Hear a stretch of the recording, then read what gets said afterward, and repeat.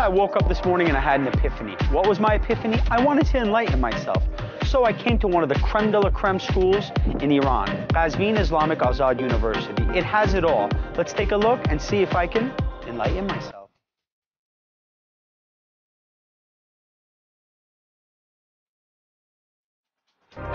Qazvin enjoys a 9,000 year history with unrivaled heritage. The university is located right inside of Qazvin and it offers a total number of 92 fields of study to major in.